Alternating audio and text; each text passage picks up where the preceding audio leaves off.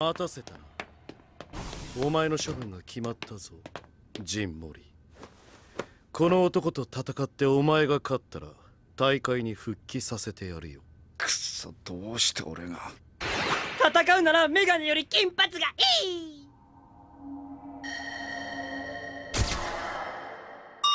金髪じゃないかやだやだやだ金髪。メガネはダメ金髪がいい金髪いいか小僧。